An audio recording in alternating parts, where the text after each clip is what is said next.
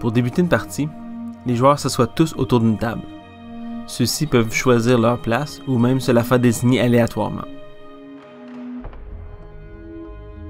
Chacun s'occupe ensuite de sa propre aire de jeu. Tous les joueurs doivent avoir préalablement bâti une crypte de 12 vampires. Cette crypte sera soigneusement mélangée et mise de côté, face cachée. Chacun aura aussi à bâtir une librairie composée, elle, de 60 à 90 cartes diverses. Elle sera aussi mélangée et mise sur le côté. Une fois que cela est fait, chaque joueur pioche 4 cartes de crypte et les dispose l'une à côté de l'autre, face cachée. Chacun prend aussi 30 Blood Counter et les rassemble visibles pour tous dans son aire de jeu. Tous les joueurs piochent 7 cartes de leur librairie. Une fois que cela est fait, il ne reste plus qu'à s'assurer que les Blood Counters supplémentaires sont en quantité suffisante pour alimenter les joueurs au besoin.